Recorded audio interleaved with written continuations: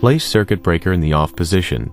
Place the multipole lockout device on the circuit breaker tie bar assembly. Rotate the thumb wheel clockwise to secure the lockout device to the circuit breaker. Attach the padlock and worker's protective tag